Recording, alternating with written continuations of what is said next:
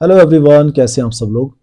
तो फ्रेंड्स आज की वीडियो में हम सीपीसी स्टार्ट करने वाले हैं, ठीक है? सीपीसी का जो फ़र्स्ट लेक्चर रहेगा तो चैनल पे नए हो तो प्लीज़ चैनल को सब्सक्राइब कर लो और बेल आइकन को प्रेस कर लो, ताकि आने वाली वीडियोस की नोटिफिकेशन भी आपको मिलती रहे। तो चलिए स्टार्ट करते हैं।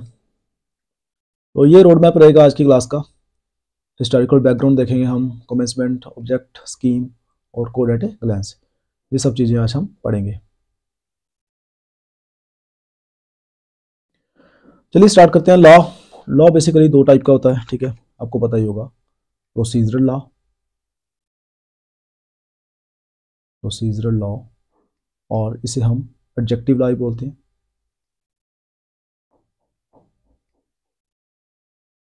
एडजेक्टिव लॉ ठीक है? और substantive law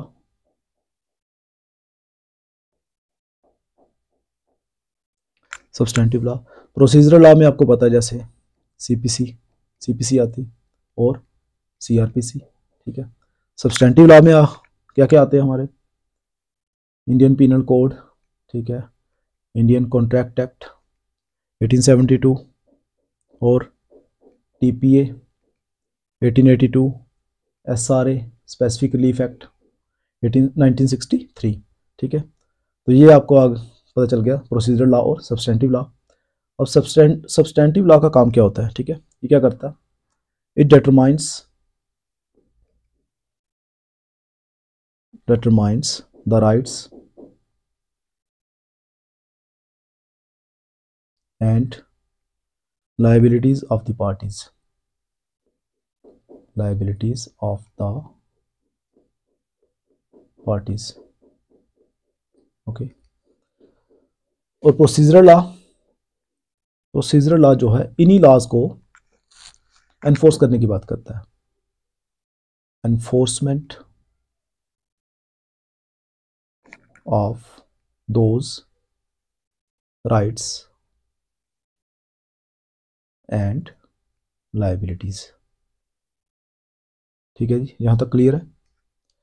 procedural law substantive law ठीक है? सब्सटेंटिव लॉ डिटरमाइन करता है determines the rights and liabilities of the parties और प्रोसीजरल लॉ जो है, उन्हीं राइट्स को और लाइबिलिटीज को एनफोर्स करने की बात करता है, ठीक है? चलिए नेक्स्ट देखते हैं हम। थोड़ी सी एग्जांपल देख लें इसमें कि कोर्ट को कैसे पता चलता है? How court decide that whether the matter is a civil suit और क्रिमिनल सूट ठीक है? क्रिमिनल मैटर है या सिविल मैटर है कोर्ट कैसे डिसाइड करता है, ठीक है?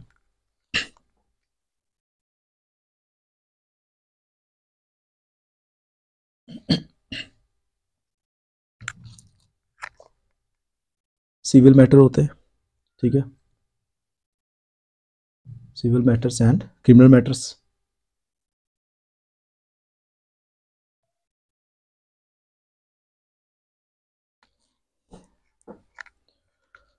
अब जितने भी इंडियन कॉन्ट्रैक्ट एक्ट के मैटर होते हैं, जहाँ टॉट के मैटर होते हैं, जहाँ प्रॉपर्टी रिलेटेड डिस्प्यूट्स होते हैं, वो क्या होते हैं? सिविल मैटर्स होते हैं, ठीक है?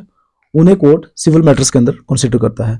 और जो क्रिमिनल मैटर है, इसकी एग्ज़ाम्पल आप आईपीसी ले सकते हैं, ठीक है? इंडियन पिनल कोड में जो भी डिफाइंड है, वो सारे क्रिमिनल मैटर्स होते हैं, ठीक है? तो हम इसको कह सकते हैं civil matters are civil matters are dealt under CPC under CPC ठीक है? और जो सीपीसी है CPC is applicable in civil courts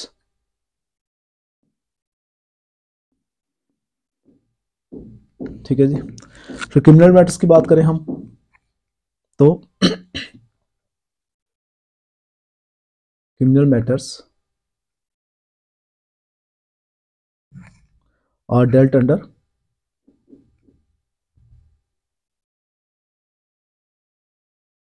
under CRPC ठीक है जी? और CRPC is applicable in applicable in criminal courts ठीक है जी? क्रिमिनल कोर्ट्स ठीक है? और एक बात और जो ध्यान में रखने वाली है दैट इज़ जो इंडियन एविडेंस एक्ट है। इंडियन एविडेंस एक्ट ठीक है? ये दोनों को एप्लीकेबल करता है, ठीक है? Is applicable to both civil and civil and criminal matters ठीक है? Indian evidence act is applicable to both civil and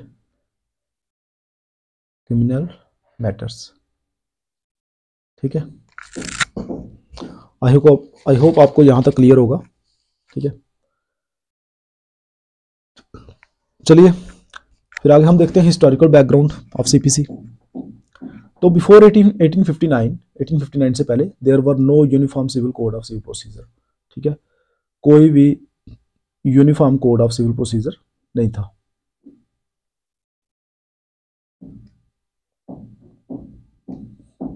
ठीक है जी? There were different systems of civil procedure in different parts of the country ठीक है? हर part में अलग अलग civil procedure उनका अपना प्रोसीजर था। तो कोई भी एक यूनिफॉर्म कोड नहीं था, ठीक है? तो इसीलिए इसकी ज़रूरत पड़ी सिविल सीपीसी को लाने की, ठीक है? और in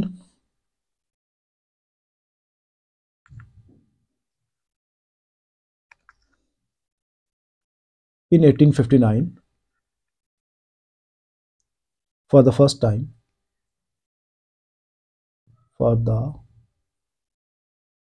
first time a code was enacted. A code was enacted code enact किया 1859 में, क्योंकि इससे पहले कोई सिविल यूनिफॉर्म कोड था नहीं तो 1859 में first time civil procedure code को इनेक्ट किया गया, एक कोड को इनेक्ट किया गया बट उसके भी बहुत सारे डिफेक्ट्स है, ठीक है? But has many defects many defects because it was not applicable in whole of British India because it was not applicable in whole of British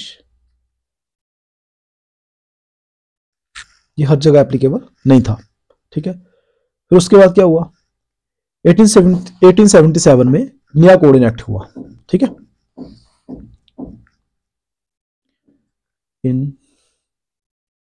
1877 a new code was enacted. ठीक है? फिर amendments उसके बाद amendment होती गई, ठीक है? 1951 में एक अमेंडमेंट हुई। अमेंडमेंट्स डिफरेंट अमेंडमेंट्स ठीक है?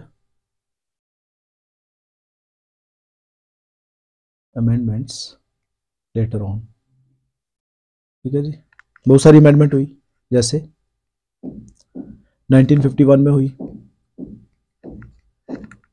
1951 में हुई 1956 में हुई, ठीक है जी? 1976 में हुई। अब जो जो 1976 वाली अमेंडमेंट थी, इसे हम कह सकते हैं it is the main amendment most important it is important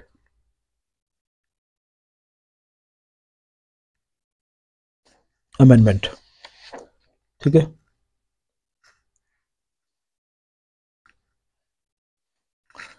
अब इसमें लॉ कमीशन ने बहुत सारे रिकमेंडेशंस दी, ठीक है? Law commission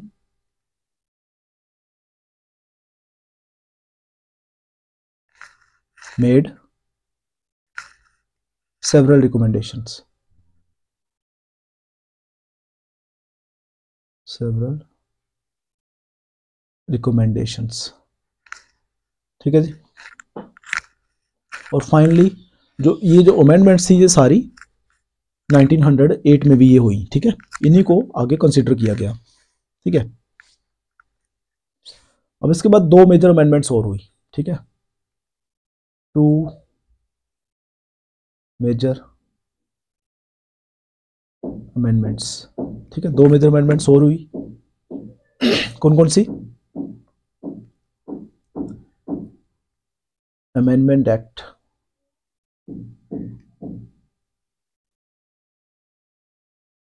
Nineteen ninety nine. And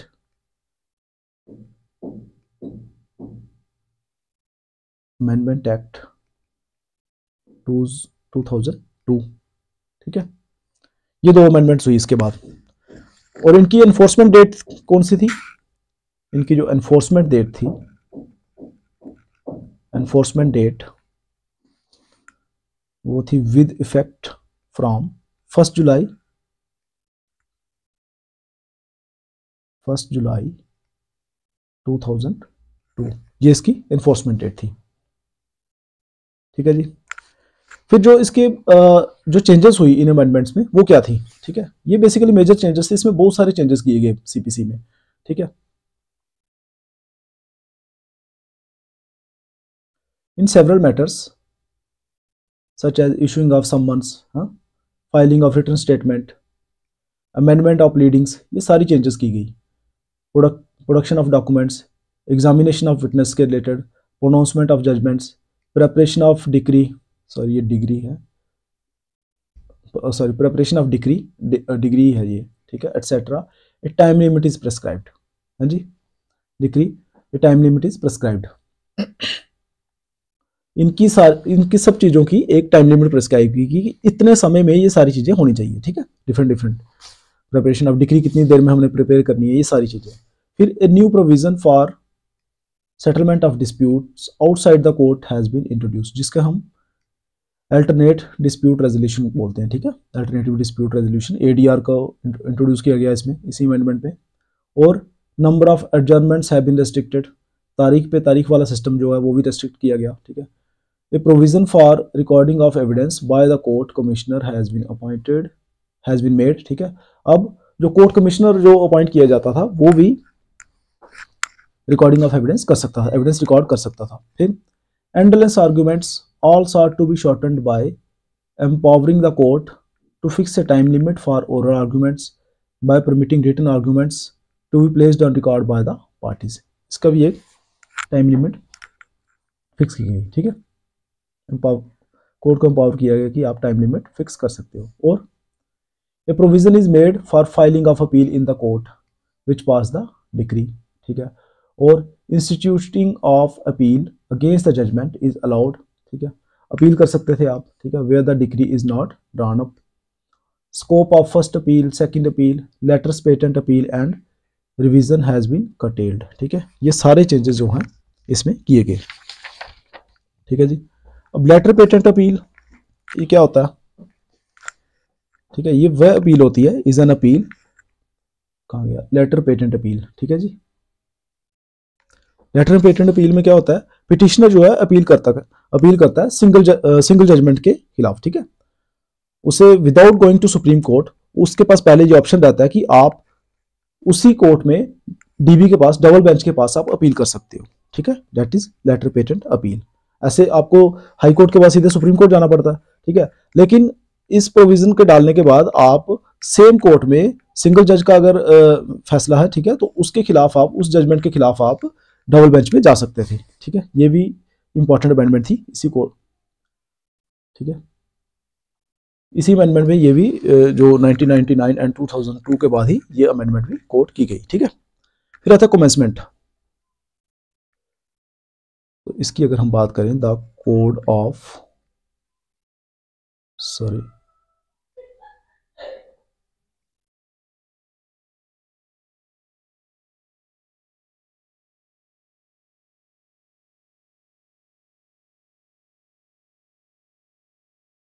the code of CPC is applicable with effect from 1st January January 1908 ठीक है ये आपको याद रखना है first January nineteen hundred eight से ये एप्लीकेबल हुआ और ये होल ऑफ़ इंडिया को एक्सटेंड करता है, ठीक है? Extends to whole of India including J and K भी, ठीक है? जे एंड के में भी होता है ये, क्योंकि after J and K reorganisation act 2019 इसके बाद ये जे एंड के में भी एप्लीकेबल हो चुका है, ठीक है? और but it is not applicable to not applicable to state of Nagaland state of Nagaland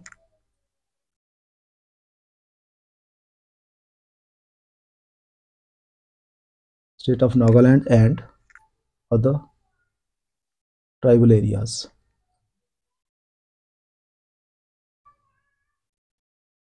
यहाँ पे ये एप्लीकेबल नहीं था। अब ये एप्लीकेबल क्यों नहीं था? Because their respective customary laws उनके जो अपने रिस्पेक्टिव कस्टमरी लॉज हैं, वो वहाँ पे अभी भी वो एप्लीकेबल होते हैं, ठीक है? और applicable in their in the tribal areas और ये, यही चीज़ आपको एज मैंशनड मैंशन की गई है कहाँ पे? कॉन्स्टिट्यूशन के सिक्स शेड्यूल में। As mentioned in schedule six of the constitution of India ठीक है जी? यहाँ तक समझ आ गया आपको। सीपीसी एप्लीकेबल है, ठीक है? ऑल ऑफ़ इंडिया में जे में भी एप्लीकेबल है बट स्टेट ऑफ़ नागालैंड में, ये, जहाँ अदर ट्राइबल एरियाज़ में ये एप्लीकेबल नहीं है, और ये प्रोविज़न मेंशन किया गया है हमारे कॉन्स्टिट्यूशन के सिक्स शेड्यूल में। ठीक है जी? नेक्स्ट देखते हैं हम। अब ऑब्जेक्ट क्या है इस कोड का? ठीक है जी? यानी कि प्रीएम्बल ऑफ़ द कोड तो प्रीएम्बल क्या कहता है इसका? It is to consolidate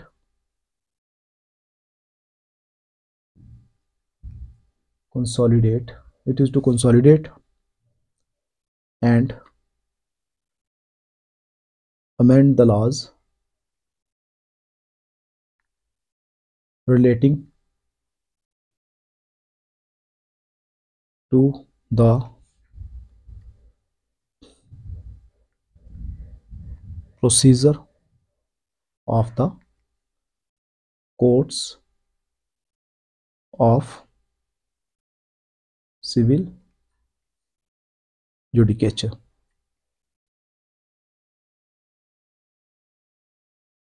ठीक है जी ये कंसोलिडेट करता है ये इसका ऑब्जेक्ट क्या है? जितने भी लॉज हैं हमारे, उन्हें कंसोलिडेट करना, ठीक है? To put all rules and civil laws under one umbrella ठीक है? ये इसका मकसद था, ठीक है? कंसोलिडेट किसको करना?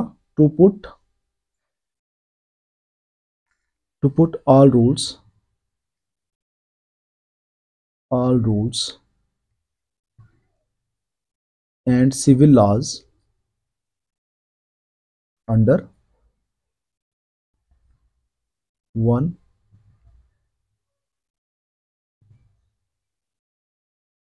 umbrella ठीक है? फिर नेक्स्ट देखते हैं हम स्कीम ऑफ़ द कोड अब सीपीसी में आपको पता है सेक्शंस हैं ऑर्डर्स हैं पार्ट्स हैं, ठीक है जी? इस तरह इसको डिवाइड किया गया है सीपीसी में आपका क्या है? इसका कलर चेंज कर लेते हैं।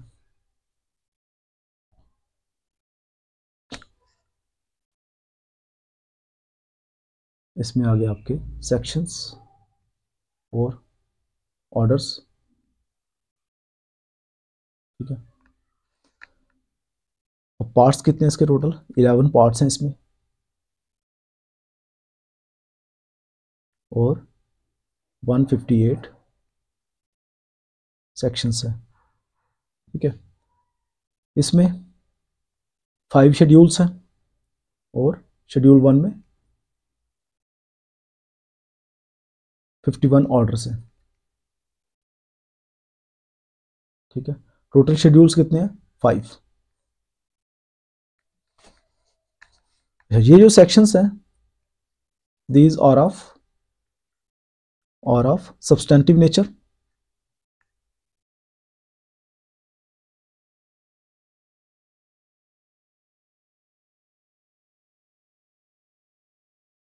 substantive nature ठीक है जी? And sections can be amended by legislature sections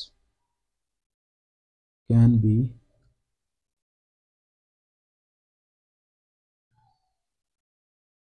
amended by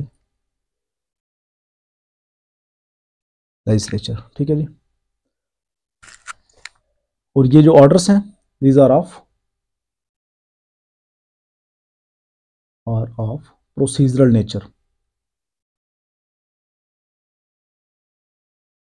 procedural nature ठीक है? और इन्हें कौन अमेंड करता है? Amended by high court orders को हाई कोर्ट अमेंड कर सकता है। ठीक है जी? अमेंडेड बाय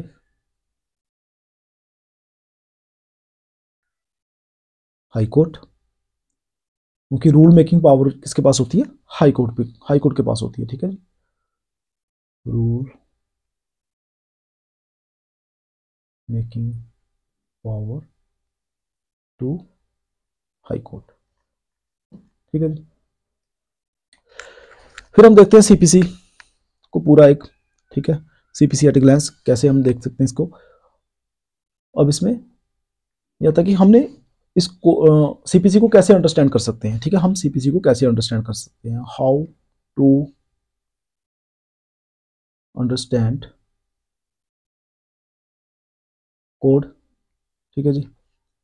टू वेज में। दो तरीकों से हम इसे अंडरस्टैंड कर सकते हैं। कौन कौन से?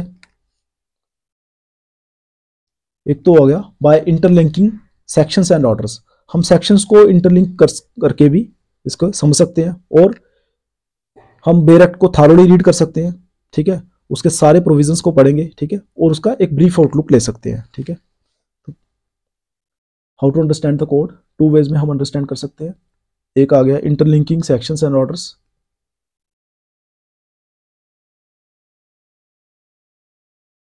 by interlinking sections and orders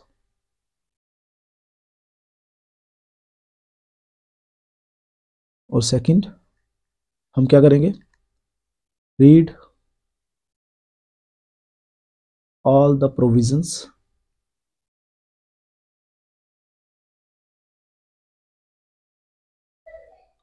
of the code and take a brief outlook ठीक है जी? अब इसमें कोड जो है प्रीलिमिनरी से स्टार्ट होता है, ठीक है? फ़र्स्ट पोर्शन क्या आता है इसमें? प्रीलिमिनरी इसमें आती है आती है आपके सेक्शंस वन टू एट ठीक है जी? फिर आता है part one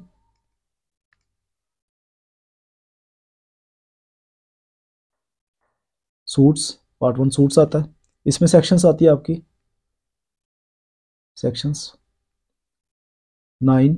to thirty five nine to thirty five B और इसके रिलेटेड जो ऑर्डर्स हैं, ठीक है? पार्ट वन में ऑर्डर्स आते हैं आपके वन टू ट्वेंटी तक। ठीक है जी? फिर आता है आपका पार्ट टू इसको आप एक बार अच्छी तरह से याद कर लेना, ठीक है? इसमें से डायरेक्ट क्वेश्चन पूछ लेते हैं, ठीक है? कौन सा ऑर्डर किससे रिलेटेड है? सेक्शन ये क्या है? सेक्शन सेक्शन नंबर पूछ लें कई बार, ठीक है? तो इसको आपको एक बार पूरे इंडेक्स को आपको अच्छी तरह से याद कर लेना। पार्ट टू में एग्जीक्यूशन ऑफ़ डिक्री आता है। एग्जीक्यूशन ऑफ़ डिक्री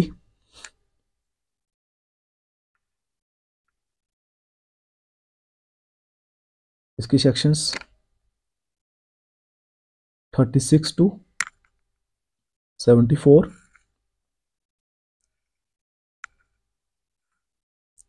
और ऑर्डर आता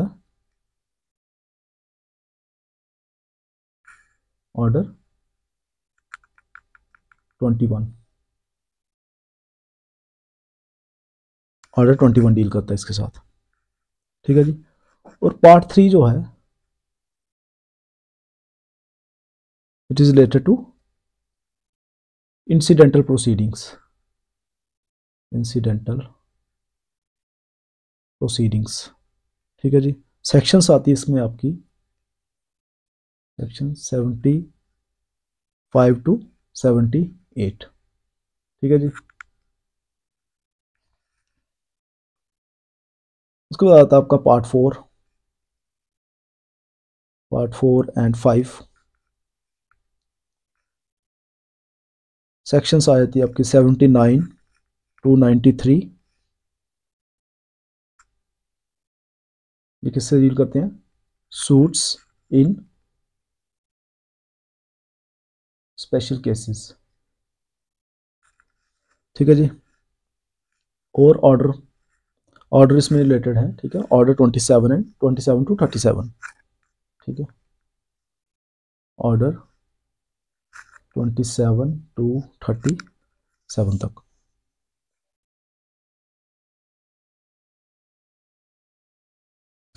फिर आया था आपका पार्ट सिक्स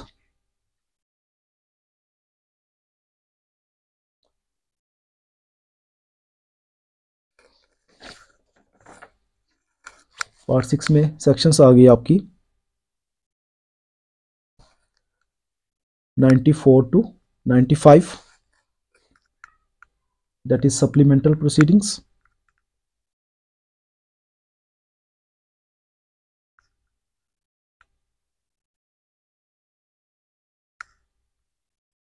supplemental proceedings और ऑर्डर इसमें रिलेटेड ठीक है ये आ गया इसकी सप्लीमेंट्री प्रोसीडिंग्स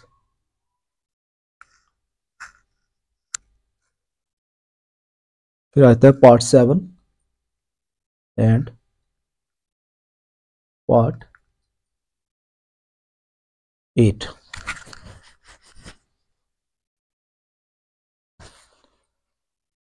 sections आ गई इसकी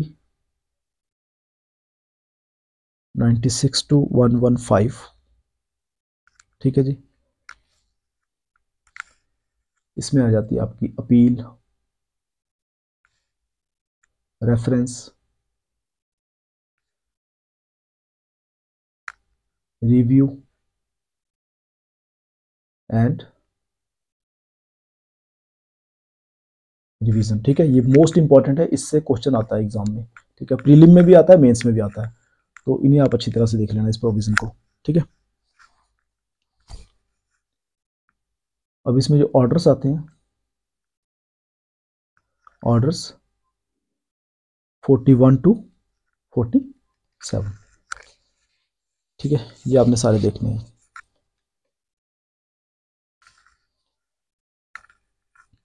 फिर उसके बाद आता है पार्ट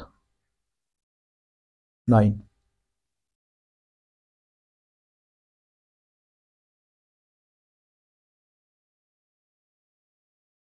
सेक्शंस आ गई one one six to one twenty तक, ठीक है? पार्ट टेन जो है इसमें सेक्शंस आ जाती हैं। One twenty one to one thirty one तक, ठीक है?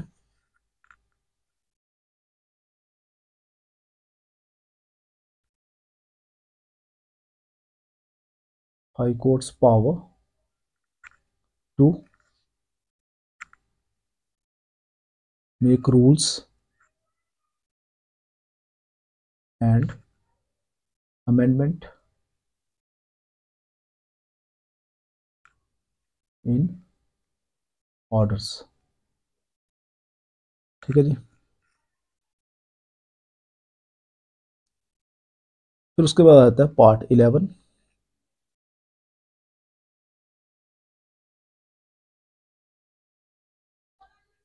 इसमें सेक्शंस आती हैं आपकी 132 टू 158 ठीक है? And these are about miscellaneous provisions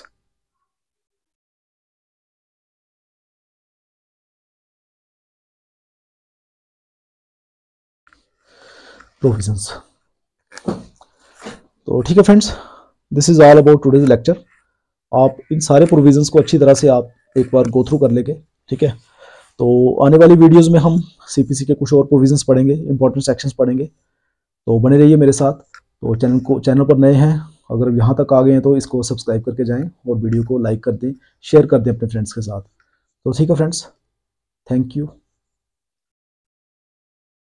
for watching ठीक है जी? मिलते हैं नेक्स्ट लेक्चर में. Thank you